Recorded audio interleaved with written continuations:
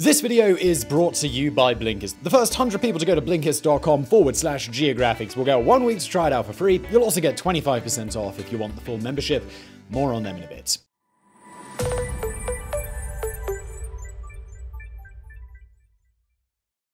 It's the largest non-polar desert in the world, covering the northern third of Africa. The Sahara is a true behemoth. From north to south, it stretches over 2,000 kilometers. From east to west, it's two and a half times that size. For most people on Earth, it's about as close to the platonic ideal of a desert as you can get. It's no accident that its name derives from the Arabic word Sahara, literally meaning desert. Yet no mere word could sum up the vastness, the sheer remoteness of the Sahara. Excluding the Nile Valley and the coastal regions, it's thought that only 2.5 million people live here in a desert roughly the size of the United States of America, including Alaska and Hawaii. In other words, this is one big mother. But despite covering 8% of our planet's land, the Sahara remains a mysterious place. Even now, there's a lot of debate about it, everything from how old it really is to how it came to be so barren. Well, grab yourself some sun cream because today's Geographics is heading into one of the hottest, most inhospitable places on Earth.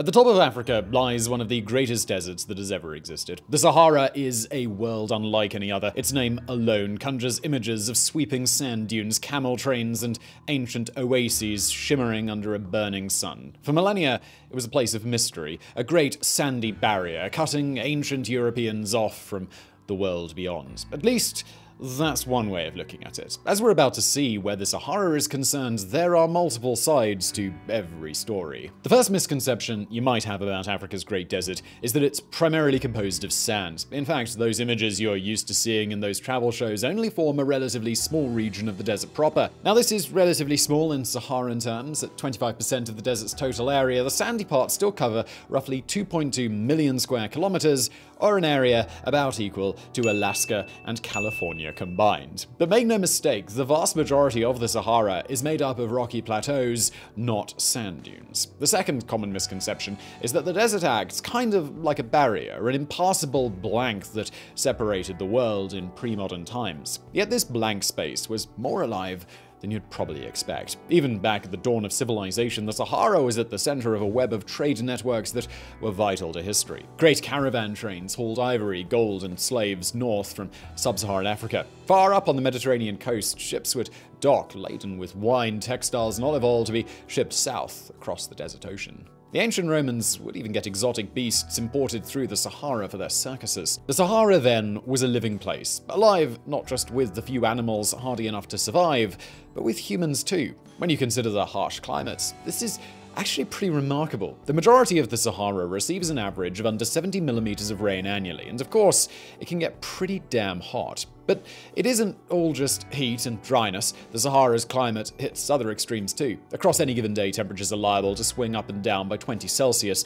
Over an average year, you might experience everything from minus 15 C to plus 50. For our American viewers who still think in Fahrenheit, just imagine going from a damn cold winter's day in Toronto to a damn hot summer's day in Death Valley. But then, wild swings are kind of just the Sahara's thing. Take something as simple as its size. Every year, year, the desert shrinks and grows as it cycles between its dry and wet season, pulsing gently like a giant heart. Unlike a heart, though, its long term trend is towards growth. A 2018 study found the Sahara's overall size had increased by 10% since 1920. But we're not here to talk about the Sahara's future just yet, or even its present. First, we're going to dive into its past.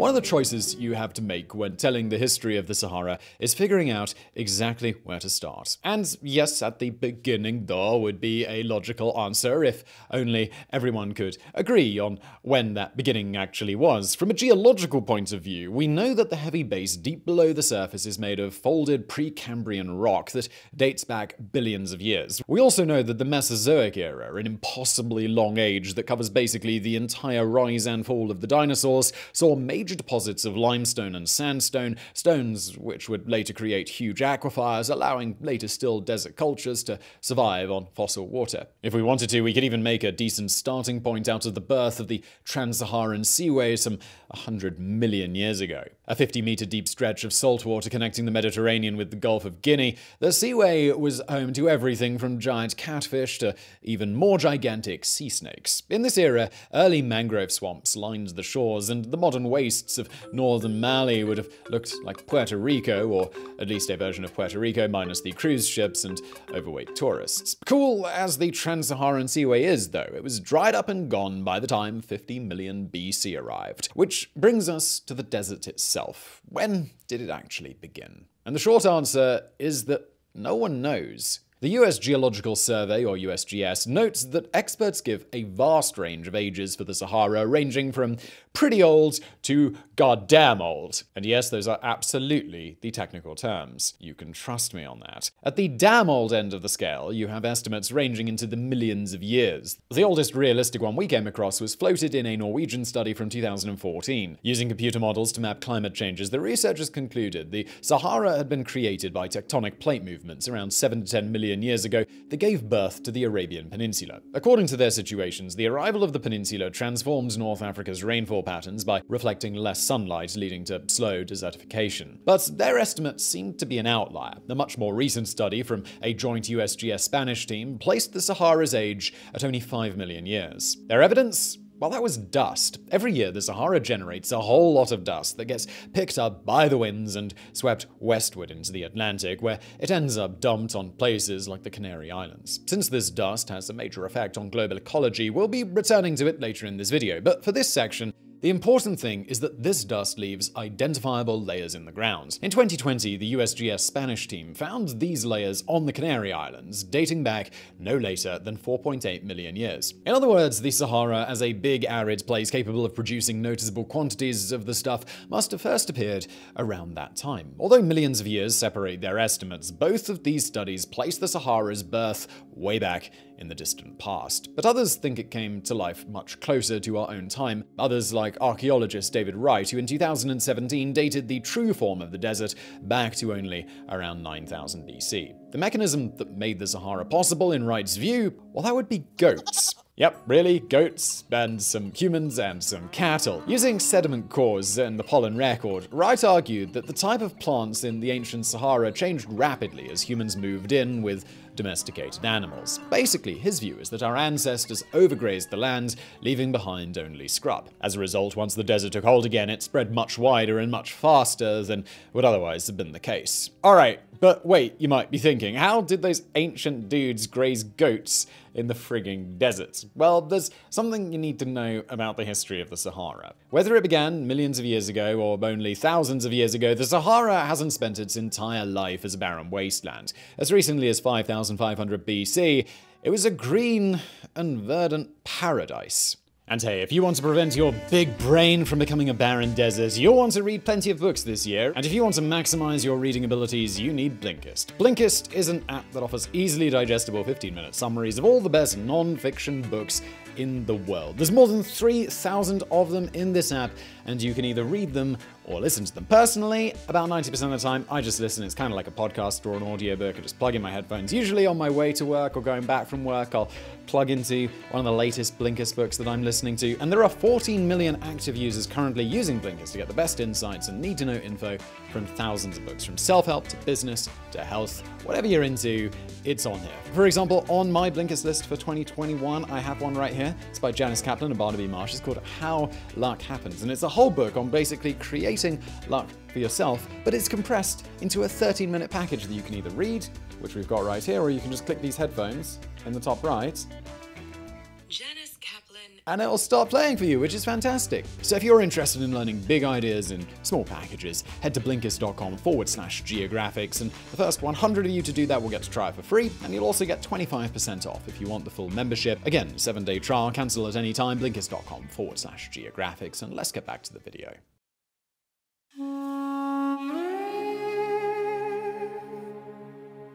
If you stepped out of a time traveling DeLorean in North Africa around the year 5500 BC, you might feel pretty damn confused about where you were. That's because the Sahara back then wasn't a desert. Rather, it was a vast and fertile savanna. In this era, there were rushing rivers and vast lakes where today only exists barren rock. There were grasslands dotted with wild animals. That this paradise ever existed is thanks entirely to a minor tilt. As our Earth spins through space, it doesn't do so with the North Pole pointing directly upwards from its orbital plane. Instead, our planet lurches along like a drunk uncle at a wedding, tilted to one side, although without the awkwardness of trying to hit on the bridesmaids. Over the centuries, our drunk Earth wobbles back and forth slightly, its tilt varying per NASA between 22.1 and 24.5 degrees. The upshot, the northern hemisphere swings between getting more and less sunlight in summer. When Africa's summers get more sunlight, it affects affects the Western African monsoon season, creating something known as African humid periods when everything gets wetter. In North Africa, these periods are also known as the Green Sahara because it's when everything bursts into life. That means this desert is forever oscillating between the Sahara we know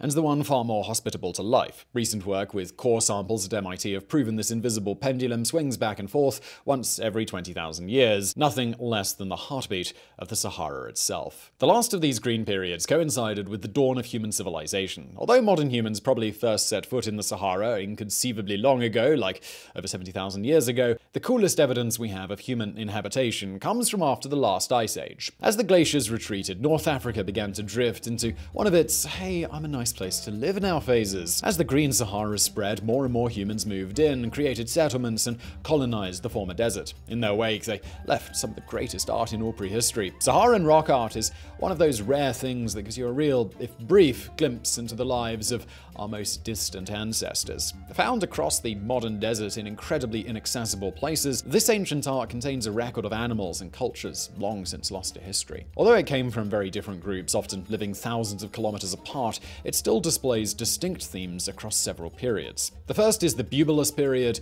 or large wild fauna. Dating from around 10,000 BC to 6000 BC, it depicts wild creatures in a naturalistic way, ranging from giraffes to buffalo. The second category mostly comes from the same period, but instead of animals, it features human figures with big circles for heads. Because people who research prehistoric art apparently love themselves an obvious name, this is known as the Roundhead period. After that comes pastoral rock art, which lasted until about 2000 BC and mostly shows domestic animals. This is followed by the Horse period, which, surprise, surprise, features mostly pictures of ancient Bojack. Ending around the year 180, the Horse period covers art mostly created in a Sahara like the one we know today, but the pastoral period is different. Its artists weren't etching from memory or using their imaginations. They were simply recording what they saw every single day. A Sahara where farming was a way of life. Sadly, it was a way of life that was doomed to vanish. Around 5300 BC, the Earth's drunk uncle Wobble began to tug the Sahara away from its green period. The rains grew rarer before stopping altogether. As their world dried up, most of the cultures that had made this art retreated, clustering around the Nile River Valley, where farming was still possible. By 3500 BC, the transformation was complete. North Africa was well on its way to becoming a desert again. It was around this same time that a great new civilization began to rise beside the Nile on the edges of the desert, a great civilization that would become one of the longest lived in the ancient world. They were the Egyptians, and their arrival heralded the beginning of the Sahara's first great culture.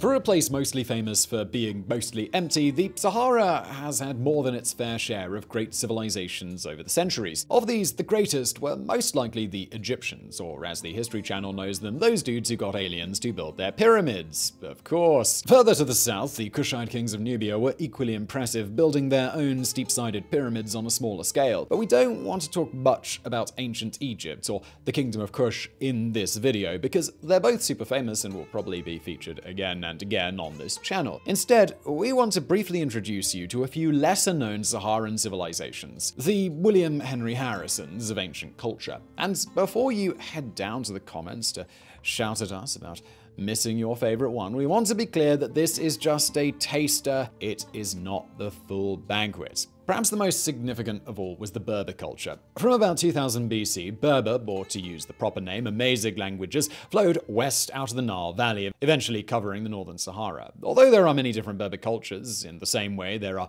multiple European cultures, they had a few things in common beside language. One was their deities. Like in Egyptian culture, the Berbers worshipped figures linked to the sun and moon. Another common experience was a relatively antagonistic relationship with Rome. The name Berber actually comes from the Latin barbarus or barbarian, which gives you some idea of what the Romans thought of them. While some Berber kingdoms would wind up falling under Rome's spell, though, others would outlive the empire. Perhaps the most impressive of these were the Garamantes. Descended from the Berbers, the Garamantian civilization is one of the greatest forgotten cultures of all time. Centers in the desert of what is today Libya and lasting from 1000 BC to the 6th century AD, it seems to have been the Sahara's first complex urban society to develop without a whacking great river nearby. We know from ancient writings and archaeological work that the Garamantes had agriculture, with villages and towns laid out around large stone forts. We know too that they reared cattle. At its height, their civilization covered around 650,000 square kilometers,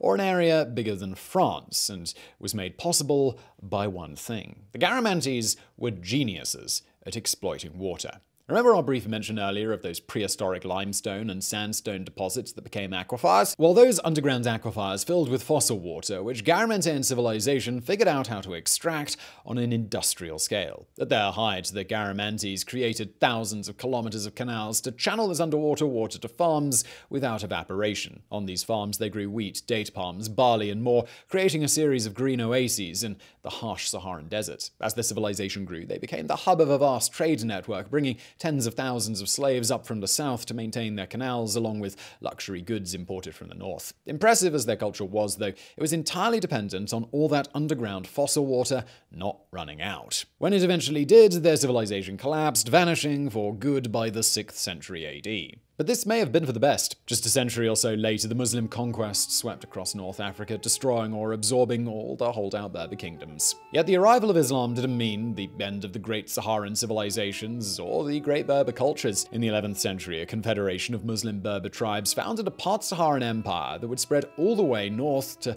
the modern French-Spanish border. Known as the Almoravids, their culture was super religious and puritanical in the extreme, eschewing most art forms, although surviving architecture in their old capital of Marrakesh has an austere beauty. Mostly what the Almoravids were into, though, was conquering. In the 11th and 12th centuries, they swept through modern Morocco, Algeria, and Muslim Spain, creating the basis for a great exchange between the deserts of North Africa and Al-Andalus. Unlike the Garamantes, though, the Almoravids didn't last long. By 1147, their capital had been ransacked by the rival Almohads, and soon after, they vanished into history. So that's three great civilizations, just to give you some idea of the kind of cultures this vast desert was capable of producing. We could go on, of course, maybe by talking about the great part-Saharan empires of Mali and Songhai centered around Timbuktu. But this was only ever meant to be a taster, a quick glimpse into an age of empires that's long since passed. Now, though, it's time to turn away from history to look at something equally fascinating how the Sahara affects our modern world.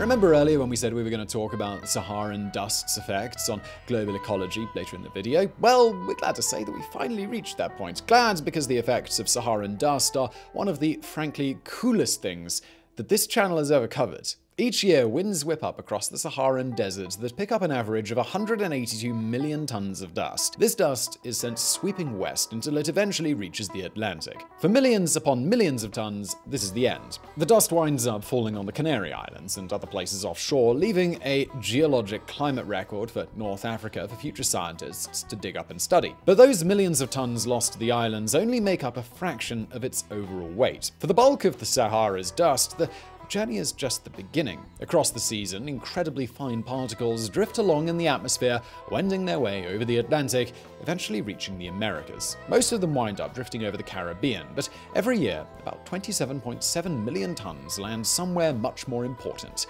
the Amazon. It's at this point that things get really cool. Despite being one of the biggest explosions of nature anywhere on Earth, the Amazon soil isn't super great in terms of nutrients. Most nutrients the rainforest needs to grow come from organic matter, such as dead leaves and other plants. But these don't deliver quite enough to sustain the Amazon's incredible biodiversity. For example, it's been estimated that the rainforest loses about 22,000 tons of phosphorus a year from its soils due to rain and flooding. That might not sound like much compared to the whole ecosystem, but it adds up. Over a single century, this yearly loss would come to badly affect plant growth if it weren't replenished. The key word in that sentence is if. Because guess what happens to replace it? Although Saharan dust comes from all over, the important parts are swept up in Chad's Bodélé Depression. An ancient lake bed, the depression's soil is teeming with phosphorus. Every single year, exactly enough of it is swept into the air and carried across thousands of kilometers of ocean to replenish the Amazon's depleted supplies. In other words, the long-term survival of the lushest region on Earth depends entirely on deposits scattered from Africa's greatest desert. Mother Nature, guys, even cooler than she likes to let on. Now, the Sahara is not the only place that produces lots of dust that gets transported long distances, but it is the planet's single biggest source. The flip side is that sadly, this can cause problems. While Saharan dust is essential to life in the Amazon basin, it has a far more catastrophic effect on life closer to home. The dust that's carried across the planet is unbelievably fine, ranging from only 20 microns to a mere 10. Particles this fine can be damaging to human lungs, and downwind communities suffer atrociously. In West Africa, Africa, for example, a dust cloud only 10 micrograms thicker per meter than average can reduce a newborn baby's chances of surviving the year by up to 18%. Even when the dust reaches the Americas, heavy seasons can still cause respiratory issues. Some think that it even increases the likelihood of COVID 19 fatalities. Still, there's no doubt that our planet benefits overall from its existence. Just think, without strong winds blowing over some of the driest lakebed you've never heard of in Chad, the Amazon rainforest would be in much worse shape. I mean, there's the butterfly effect, and then there's the Sahara Desert. Amazing as this is, though, it's just one facet of a desert that continues to fascinate the entire world. This is one of the most extreme regions on the planet, a desert that lies across 11 countries and influences the fates of countless more. It's a place where 20,000 year old water can be dug up to supply an entire civilization, where great empires can rise and fall in the shadow of sand dunes over 300 meters high. And it still has more to give. To pick just one example, it's thought that only a fraction of all Saharan rock art has ever been documented. That means there are probably tens of thousands of ancient pictures sitting out there right now, waiting to tell us so much about the history of this region, about its forgotten cultures, animals, and people. The Sahara, then, might be a mysterious place, but it's one that's slowly giving up its secrets. In doing so, it's teaching us more about ourselves and about our world than we ever dared imagine we could know. So I really hope you found that video interesting. If you did, please do hit that thumbs up button below. Don't forget to subscribe. Please do check out our fantastic sponsor, Blinkist, who I will link to below. And thank you for watching.